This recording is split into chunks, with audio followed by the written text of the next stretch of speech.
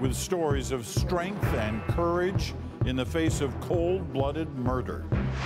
A stark message is left for Conservative leadership candidate Kellie Leitch as another contender warns against dangerous rhetoric.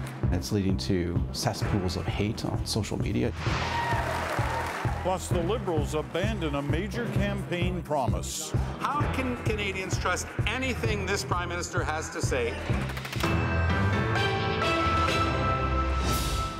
It was a nightmare, one man recalled, but a nightmare he and others at Quebec's Islamic Cultural Centre want fellow Canadians to see in the hopes of stopping hate.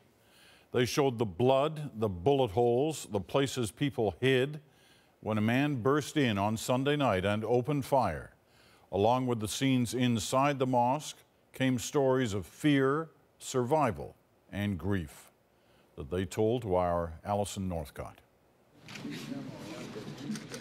The emotion was raw as people returned to their place of worship.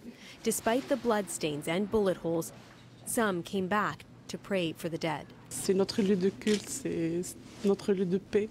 Amel Henchiri is also mourning the loss of what was once a peaceful gathering place. Ça va nous rappeler que les humains font des erreurs. Now it will remind us that humans make mistakes, she says, that there are people who can't accept that we are different.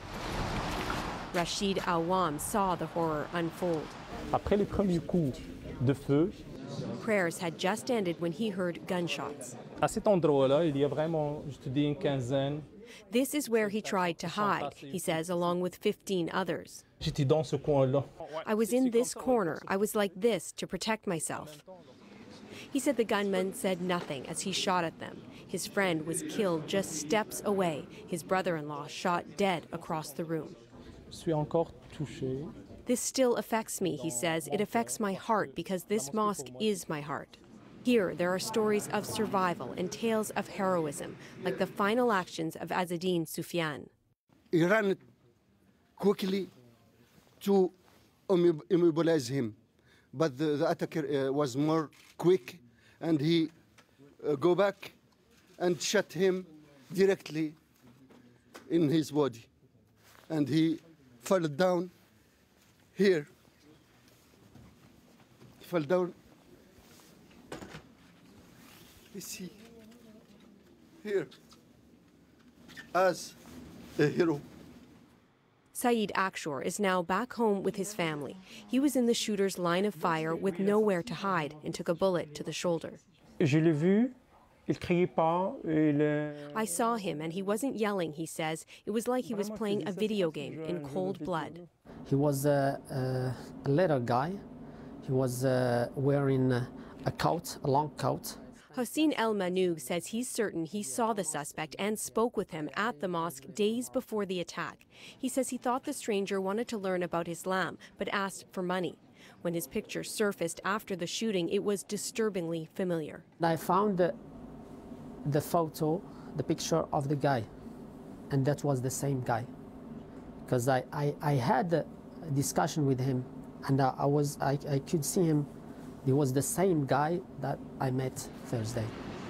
Members at the mosque say they opened their doors today to shed light on their tragedy. Many say they will reclaim this space and pray here again. Now, the community is preparing to honor the dead. A public funeral will be held for three of the victims in Montreal tomorrow, and Quebec City will host another service on Friday where thousands are expected to attend. Alison Northcott, CBC News, Quebec City. Joel Lightbound is the MP for Louis Hébert, the riding that is home to the Quebec Islamic Cultural Centre. He was with us Monday night in Quebec City talking about the victims, some of whom he knew personally. Today in the House of Commons, he offered his condolences, but also an apology. Aujourd'hui, je veux aussi leur demander pardon. Pardon d'avoir observé ces dernières années leur ostracisation et leur stigmatisation, d'avoir vu prendre racine dans le cœur de mes semblables la peur, la méfiance et la haine, d'avoir fait de mon mieux pour y répondre, mais de ne pas en avoir fait assez. Parce que si les mots ont des conséquences, les silences aussi ont des conséquences. Plus jamais. Vous êtes à Sainte-Foy chez vous, vous le serez toujours. One politician who is not apologizing is Kellie Leitch, the Ontario MP who wants to be leader of the Conservative Party, all but doubled down again today, insisting her talk of Canadian values and screening immigrants is exactly what Canadians want. David Cochrane has the story.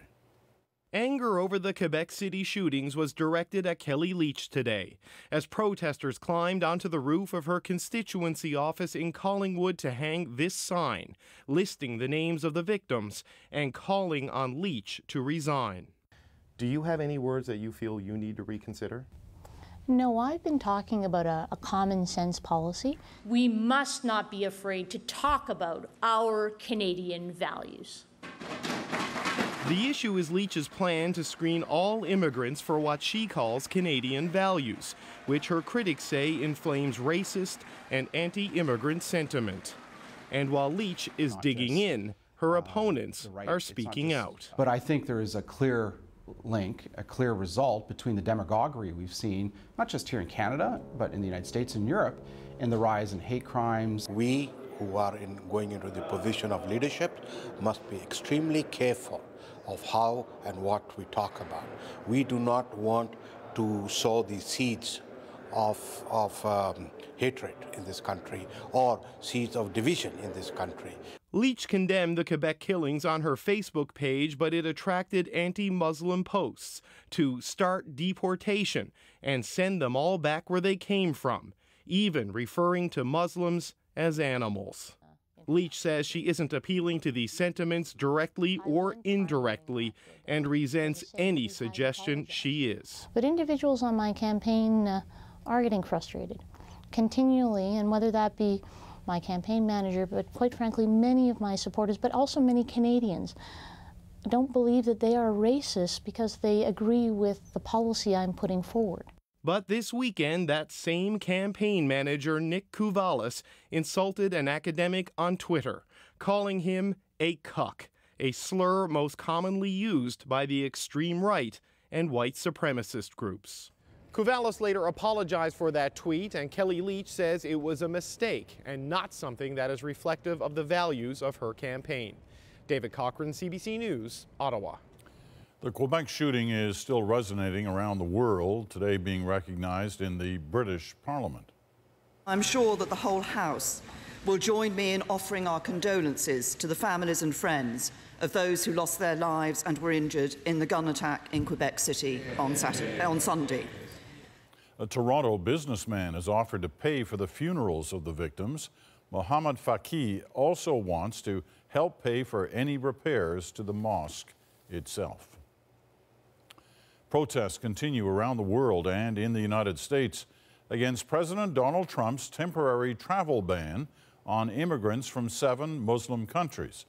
Today, another giant of the corporate world joined the condemnation, albeit inadvertently. Havard Gould explains. You don't look like you're from around here. No Clydesdales or lost puppies this time. Instead, the company that makes Budweiser is serving up a Super Bowl ad that is an edgy immigrant's tale of struggle. I want to brew a beer. Welcome to America. We don't want it here. Go back home. When the commercial was being made, Anheuser-Busch couldn't have known it would be airing in the middle of a storm over U.S. President Donald Trump's sweeping travel restrictions. But it has chosen to run the ad, not pull it. Now, I'm all for a touchy immigrant success story. The beer company is already taking shots. Your beloved beer commercial this Super Bowl Sunday is liberal propaganda. But with so many multinational companies willing to take the risk of taking on Trump, it's hard to dismiss them all. Apple is even considering legal action. It's all underlining the politically embarrassing point that the travel restrictions make it harder for companies to do what Trump wants hire people.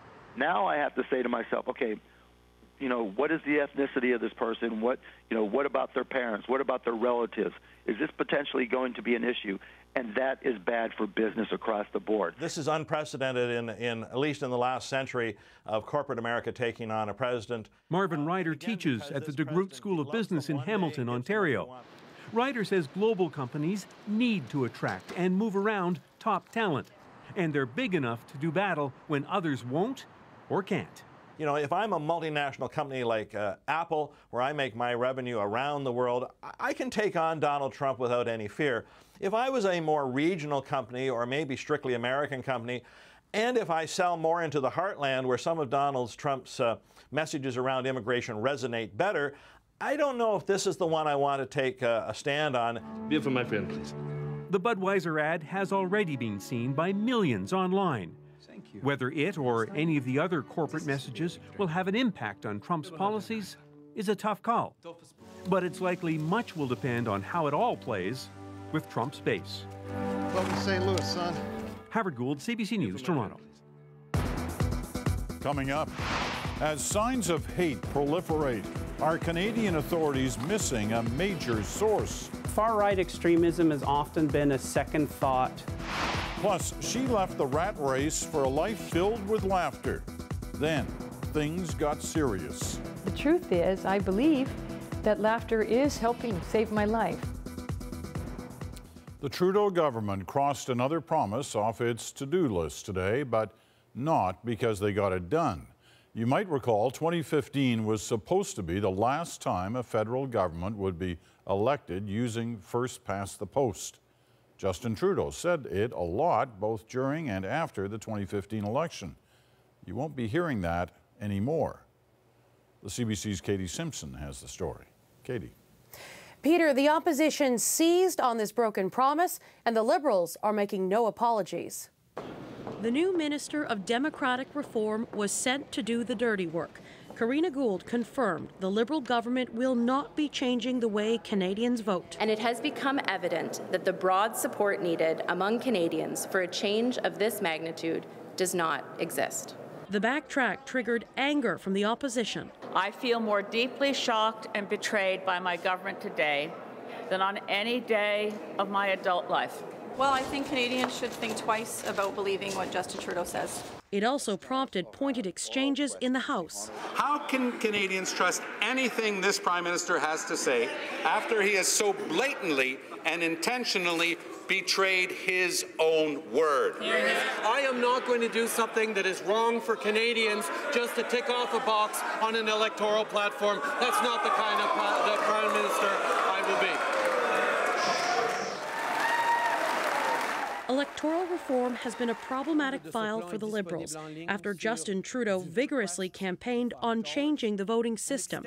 We are committed to ensuring that the 2015 election will be the last federal election using first past the post. A special committee traveled the country to discuss the issue with Canadians, and a majority of its members recommended a referendum on some form of proportional representation. The former minister in charge criticized the committee. While they did not complete the hard work we had expected them to, Maryam Monsef was later forced to apologize and was eventually moved out of the portfolio. Today, the Liberals maintain there is no consensus on the issue. The opposition suggests the decision was made for other reasons. This was not good for the Liberal Party to have a proportional system, is what one, I guess, concludes. Electoral reform may not be burning up conversations at dinner tables across the country, and some analysts say that may help Trudeau get past this blatantly broken promise. The multitude of issues that are happening, you know, uh, in the United States with, with the new Trump regime are going to kind of take some of the heat off him on this issue and, make, and probably any other issue. With electoral reform now out of the picture, the minister in charge will be focusing on other concerns, like protecting Canada's voting system from foreign cyber attacks. Peter. All right, Katie, thank you. Well, this wasn't the first promise Justin Trudeau has broken since the election. Another big one to run deficits of less than $10 billion a year and balance the books by 2019. There was also the promise to save home mail delivery and a promise to immediately invest $3 billion over four years to improve home care. The Liberals said they'd reduce the small business tax to 9 from 11 percent and that they would scrap the F 35 program. And today, Indigenous Affairs Minister Carolyn Bennett told the Commons that the government is ready to negotiate a settlement in the so called 60s scoop. Between 1965 and 1984, thousands of Aboriginal children were taken from their families and placed in non-native homes. A $1.3 billion class action lawsuit against Ottawa has been going on for years. A 14 year veteran of the Calgary Police Service resigned publicly and in tears last night because she says of the abuse she suffered with the force. I have been bullied, sexually harassed, degraded, and chastised. I did not leave the, the Calgary Police Service. The Calgary Police Service left me. It is with a heavy heart. Jen Magnus told a Calgary Police Commission hearing that she now fears retribution and retaliation. She's one of two officers who filed complaints about abuse dating back to 2013. Calgary's police chief says he will not accept her resignation. Power crews in New Brunswick are nearly there now, almost done the body numbing job of restoring power in the farthest reaches of the ice coated province. But the work, like the ice storm, has taken a toll. The CBC's Harry Forestell has the story. Under the cold dawn of the New Brunswick morning, dozens of power crews begin to stir. This, their eighth day of repairing storm damaged lines. No small task. At the peak of this outage, more than 130,000 were without power. Now, just under 6,000. We're putting in 16 hour shifts. Everybody's very tired. Uh, this morning when we got here it was minus 20. You know, uh, hard for the people at home without power. Absolutely, we realize that. It's hard for the workers also. The work is cold and grueling, replacing hundreds of poles that snapped like twigs under the weight of ice last week. 25 on this stretch of road alone. Well, I don't know. It's hard to say. There's a lot of work to do, but the good news for the people in Pigeon Hill, we're here, we're turning linemen, and we're ready to work, and we're all cranked up to uh, put the line back on. Down the road in Neguac, Joan Como hopes they'll be next. Her daughter Carol is autistic and unable to leave the home. So far, they've managed with the help of relatives and neighbors, but Joan isn't sure how much longer they can hold out. Hopefully, for another couple of days. As long as the restaurants are open, I got a little bit of money, I can go and get something. It may be days yet before everyone is reconnected. For those who can't manage, the province is directing them to local warming centres in schools and church halls. There's food at the warming centres, there's uh, other types of medical support, uh, there are things that, uh, that can really help you uh, with the necessities that you would need during these difficult times. Some have opted to go it alone with devastating consequences. Emergency measures officials say two people have died and 40 others have been hospitalized with carbon monoxide poisoning, the result of using poorly ventilated wood stoves, generators, and barbecues to stay warm. Harry Forestell, CBC News, Fredericton.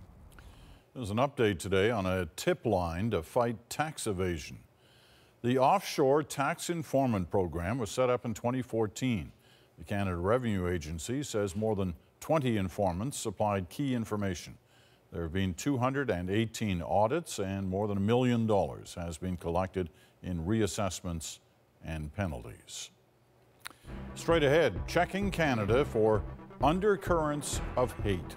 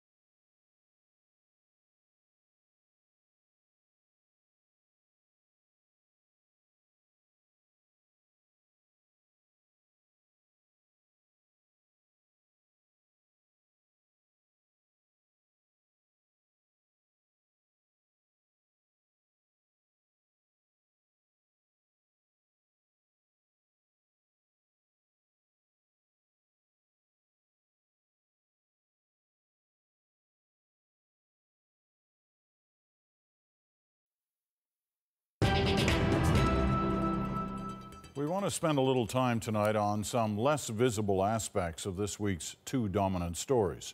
In a moment, the anonymous toll of the new U.S. travel ban. But first to the shocking Quebec City shootings and a hard to ask, harder still to answer question. Whatever might have driven that singular brutality, are there reasons to look for clues bubbling under Canada's placid surface?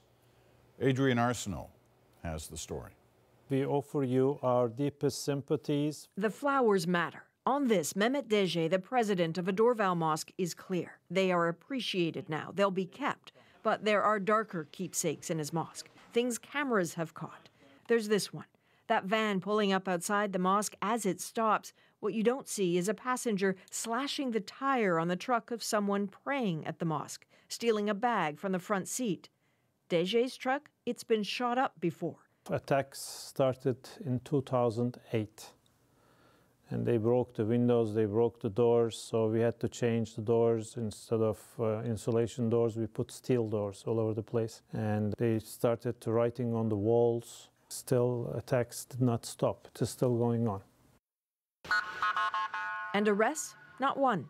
Since Sunday night's massacre, though, the police, it seems, are much more attentive and not just with his mosque.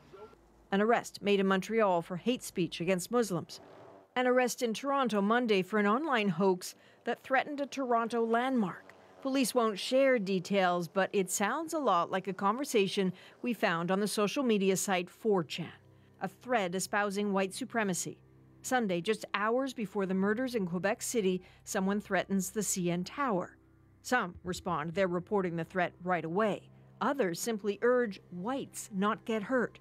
Who's talking about killing whites? One poster asks then links to a Muslim community event. The thread is vile, but does vile talk lead to violent acts?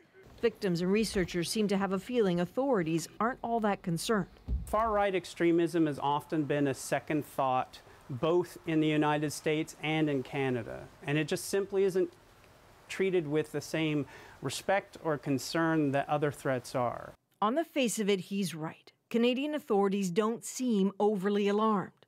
CBC obtained a restricted document, a federal government threat assessment produced only days ago.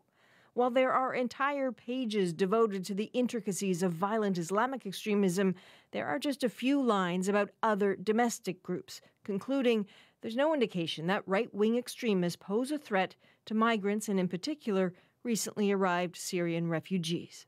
Vandals spray painting hateful messages on cars and on trains against Syrians and Muslims.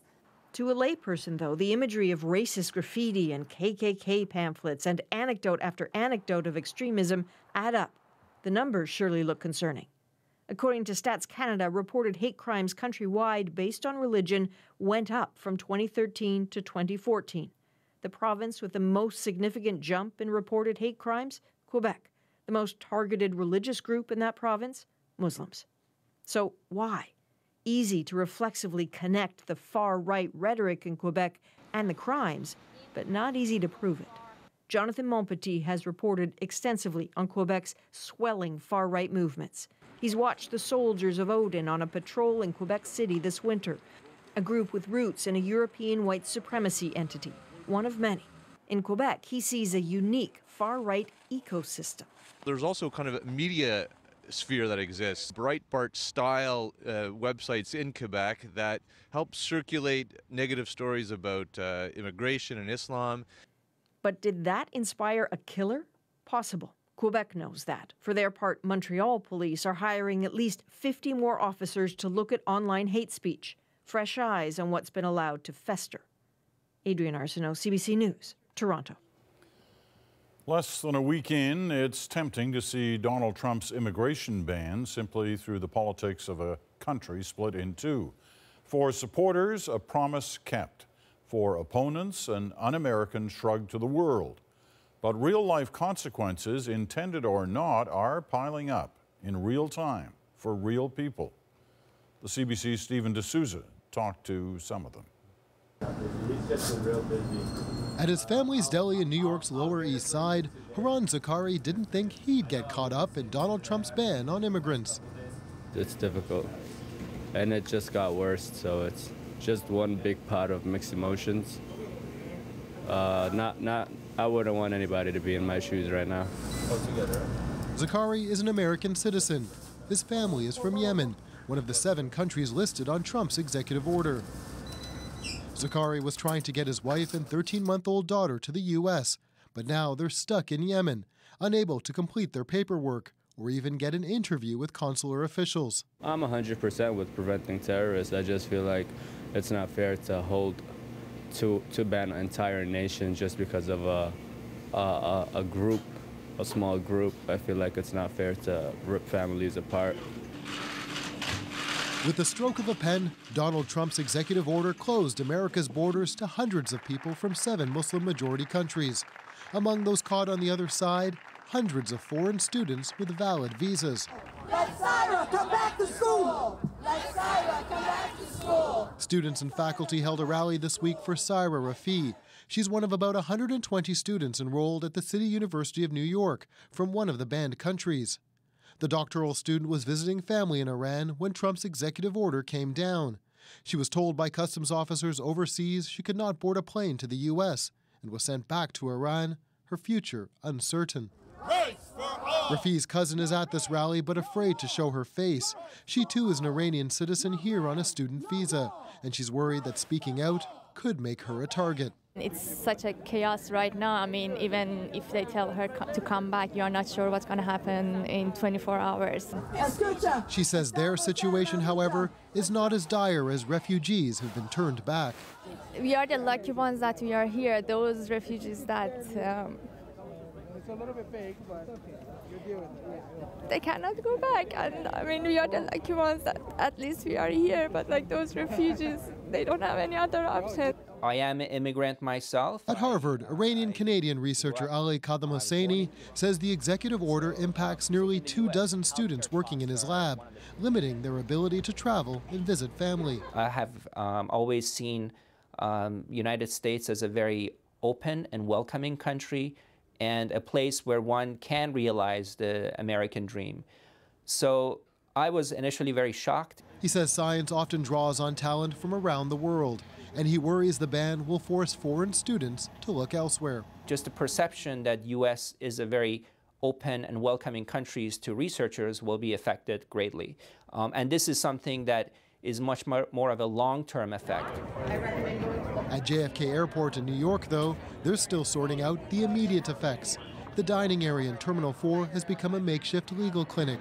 Dozens of immigration lawyers are working round-the-clock volunteer shifts. The numbers have dwindled from the first few days after clarification from the White House about how the ban should be applied.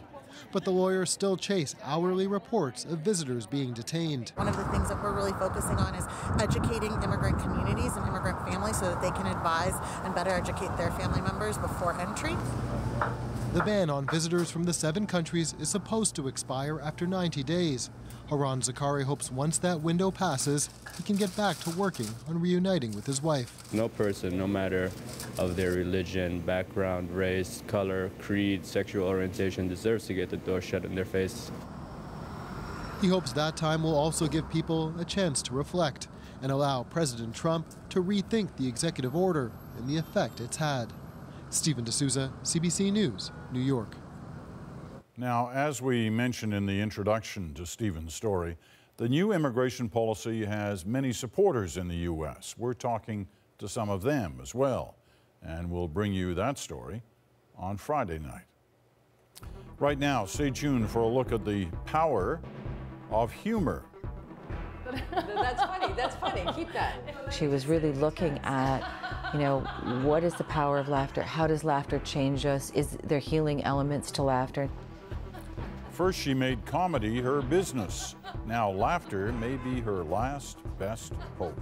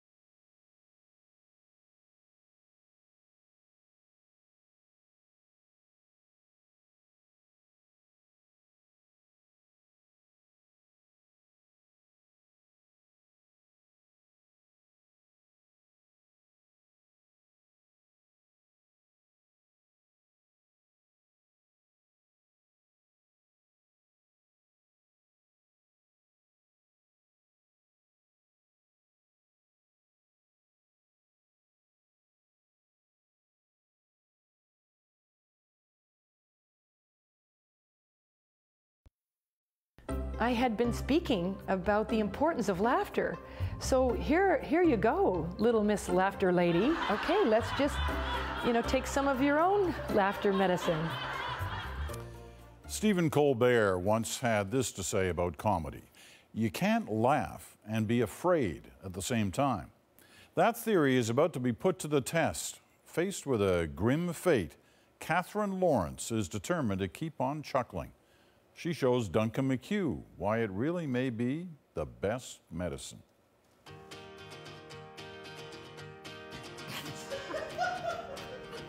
The chicken suit is her favorite getup. She'll use any excuse to wear it, her mission simple and pure to make people laugh.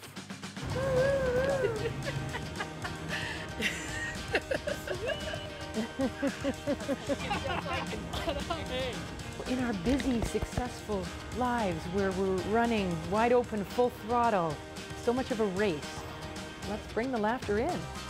Let's jump on the laugh track. What pedestrians don't know, the woman inside the suit has a terminal illness. In fact, when Catherine Lawrence was told she was living on borrowed time, being funny became serious business. I believe it in the power of laughter to my very essence. The truth is, I believe that laughter is helping save my life. It began 20 years ago. She was juggling a career in corporate law with being a mom of three when she decided to quit law to pursue her dream stand up comedy. His job was to speak about the road to success, and the poor young man said the road to sex. She'd often get together with old friend Phyllis Ellis to go over her routines. Excuse me, my phone is Uh, yeah, I'm sorry. Uh, yeah. No, I'll be right back to the crosswalk. Yeah, give me five. It's lunch. I'm eating my banana. She liked stand up, but what really fascinated her was how humor could heal.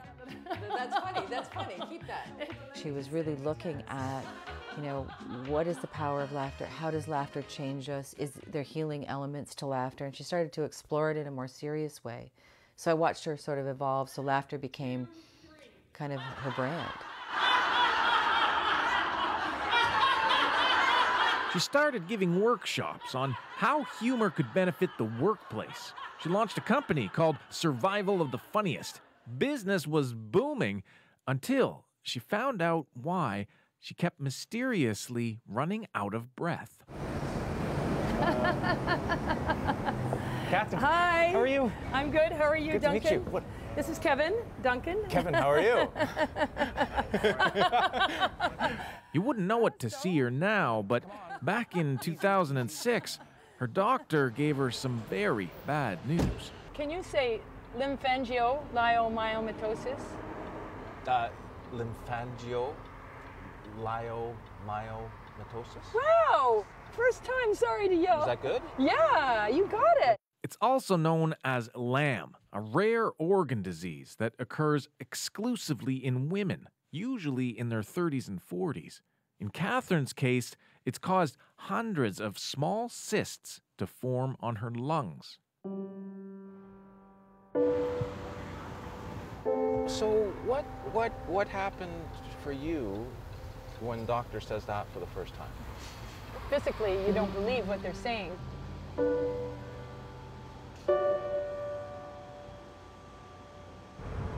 I felt perfectly great. I felt perfectly great. I thought, oh, well, this is just an appointment, you know, laughing away. and, and then uh, he tells me I've got this, and it was just, I was pretty much probably in shock. The prognosis was you have five to 10 years to live. I was scared, sad, you know.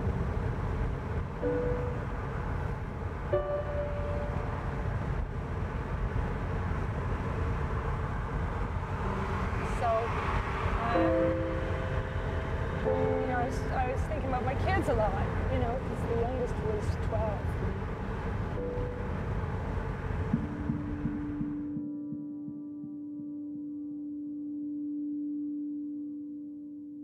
She came here, her summer home, to process the news. and it's where she decided to practice what she preached. Laughter would be her best medicine. Here's my laughter room. Your laughter room. There you go. Are you a card shark? Go. that says kiss my grass. I've given a lot of these away. A room full of gag gifts. She packs them into laugh baskets, delivers them to those who need a pick me up. She believes this is critical to her health. I was mindful of Viktor Frankl said laughter is the currency of hope. And I had been I had been speaking about the importance of laughter. So here here you go, little Miss Laughter Lady. I mean, you, it's easy for you to say. Now it was okay, let's just you know, take some of your own laughter medicine. But laughter can't cure her.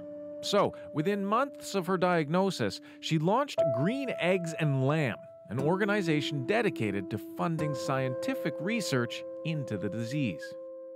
I knew that green eggs and lamb, my goal was to have it not exist. Like it wasn't going to be a, disease. Uh, it wasn't, yeah, it- was not going to be required anymore. I didn't want to start a foundation and have paid staff and audits and all of that. I wanted every cent to go right into the labs. Her first donation came on her birthday when she asked friends and family to donate to LAM Research in lieu of gifts. They surprised her, raising over a $100,000. That's when she started reaching out to scientists. She invited 30 scientists from around the world to talk about LAM, including Dr. Bill Stanford, a world renowned stem cell researcher. What do you think? Is Captain Bill? This would be good for him. Yeah, he's navigating. Nice. He's he's navigating the murky waters of LAM research. Ship happens, Captain. Dr. Stanford, now senior scientist and Canada Research Chair at Ottawa General, had never heard of LAM before he met Catherine Lawrence. I had received, um, you know, you know, emails for, about other diseases, but never from a patient, right? And, and never from a patient with a sense of humor, is sending me a basket of, of gag items, you know, fu- funny uh, glasses and rubber chickens and things like that. So What, like- what did you yeah. think when you got when you got a, a, a basket full of rubber chickens? Well, I, either the person's crazy or, or, or they're really ingenious, you know, to get my attention. Did it get your attention? Yeah, sure it did. Thanks to funding from Green Eggs and Lamb, Stanford assembled a small team of scientists who, in a few short years, made several breakthroughs, including growing LAM like cells that new drugs can be tested on. These breakthroughs give Stanford hope. A cure for LAM may actually be found in his lifetime, now that other labs around the world are building on their successes. It's kind of like a vaccine, like you, Yes. you, you use. Use um, disease yeah. to trigger Right. X. Right. And has the benefit of helping Y. Exactly. Sorry to interrupt. Yeah, no, no, no. No, no, that, that's exactly the idea. And he marvels that it began with a patient who he now calls a friend. A vivacious person, you know, just living um, life to the fullest, uh, and um, happened to have a disease, and um, you know, wanted wanted to be a part in finding the cure for, for the disease. Really wanted, she was very taking a very active role. I mean, what patient actually, you know, um, starts to organize a, a symposium on, a, on the disease that they have. But along with the laughter is an undercurrent of urgency for Catherine herself. This is a new addition to Catherine's daily life. Every day she does this to help oxygenate her lungs because her disease is progressing. She was given 10 years to live. She's past that now. Was there a moment that it dawned on you that of, of how sick your friend was? Yeah, when she started pulling around an oxygen suitcase behind her, um, when she was when I was waiting for her at uh, up at up at Simcoe, and she's walking up, and she's got an oxygen suitcase, and it's attached, and she's walking toward me. Because it's getting harder and harder to draw a simple breath, she's exploring more and more health options, such as Iyengar Yoga. It helps open her airwaves. Acupuncture, too, to stimulate blood oxygen. She's also signed up for clinical trials of a drug called rapamycin. It's all helping slow the advance of LAM but not stopping it. She knows the clock is ticking. Her children do too. I want to be there for all their big milestones in their life. I want to be a grandmother. Um, and uh, I'd always envisaged that for me. So I sort of had to, you know, I guess grieve the possibility that that wasn't going to happen. But she's not the type to dwell on her mortality instead remains committed to fundraising for a cure. And word is spreading worldwide, including a surprise donation from England. This is a scrapbook that my great grandmother made. Her family has always had a thing for the royal family. In her teens, Catherine went on a three month tall ship adventure sponsored by Prince Charles. This year, out of the blue, she received this letter from him, along with a donation for green eggs and lamb. He said, How marvelous that your experience on Operation Drake so inspired you and perhaps helped you somehow to cope with such unimaginable adversity. And when you got this letter, what, what went through your Oh. head? Well, I was just moved and um, it just it just made me feel like you know the energy of the universe is so incredible is that you know life circles back to you we are all connected we're all connected and uh, yeah it's just nice yeah I don't know where that came from yeah it's nice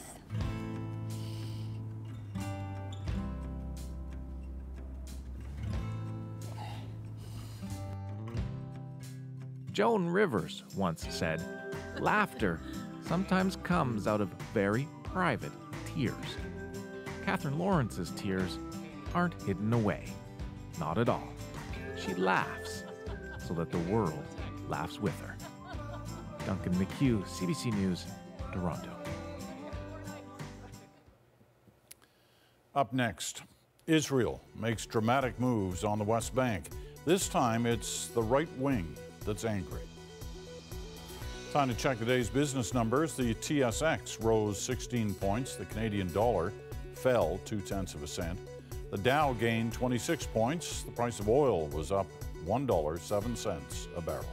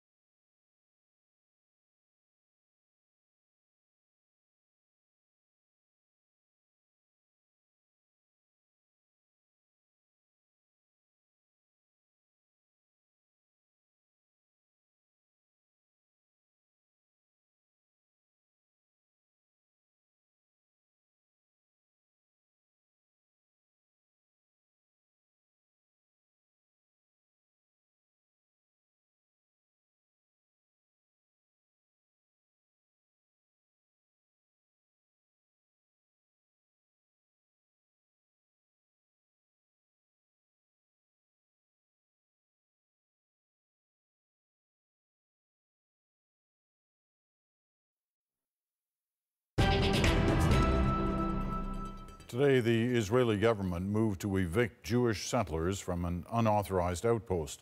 This as it approves thousands of new settlement units elsewhere in the West Bank. Derek Stoffel was there at the scene of a clash of both policy and people. This Israeli family from Amona decided to get out. But most of the 200 or so residents of this hilltop outpost remained defiant in their homes. As 3,000 Israeli police officers and soldiers descended on their settlement this morning. The men right behind me are supporters of the settlers. They do not live in this community generally. They've come from other settlements in the West Bank and they are showing their resistance to the evacuation order that the police, who are just down the road behind me, are trying to carry out here.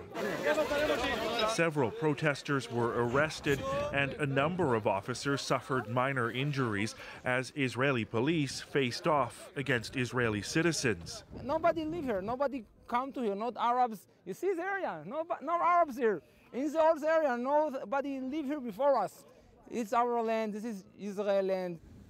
Most of the world, including Canada, considers all Jewish settlements in the occupied West Bank to be illegal, a position Israel continues to dispute. But Amona is different. Even the Israeli government and the courts say this outpost is indeed against the law because it was built on private Palestinian land, including a plot owned by Essa Zaid. He says he's been waiting for the evictions for more than 20 years now. In other West Bank settlements, there could soon be more new homes, with the Israeli government approving 3,000 new units late last night after green lighting thousands more last week. With Amona now set to be demolished, the construction boom is largely seen as a move to appease Israelis on the hard right angered by the sight of bulldozers in their communities. Derek Stoffel, CBC News, Amona in the West Bank. NATO is urging Ukraine and pro Russian separatists to stop fighting. It flared up over the weekend, leaving at least 10 dead and dozens wounded. Heavy weapons fire has left a government held town in Ukraine with little power or heat. The separatist stronghold of Donetsk was also hit. The White House says President Trump is aware of the situation. The White House had a very clear reaction to confirmation today Iran has tested a medium range missile. Recent Iranian action. Iran is now feeling emboldened. As of today, we are officially putting Iran on notice. Thank you. Senior officials say the Trump administration is considering a range of options, including sanctions. Iran claims the missile test is permitted under the Nuclear Weapons Accord it signed with the U.S. Now, don't go away. We have steamy shots from Hawaii to show you right after the break.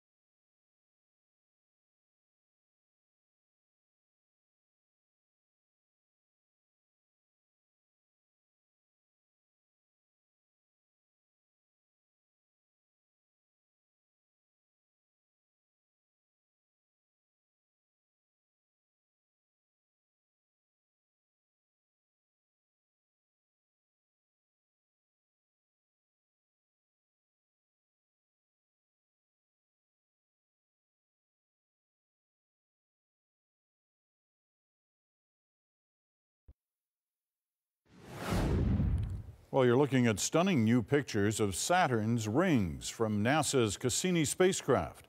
The images show unprecedented detail, giving scientists a better understanding of the icy debris within. Later this year, Cassini will fly between some of those rings before crashing into Saturn's surface and ending its 20 year long mission. Back here on Earth, more spectacular images. Molten lava from Hawaii's Kilauea volcano is pouring into the ocean. Tour boats are being warned not to get too close. And on a farm in BC, a rare convocation. That's what a group of eagles is called. These bald eagles have made a temporary home there because a nearby composting facility makes for some easy meals. Ah, the bald eagle. It's the best one.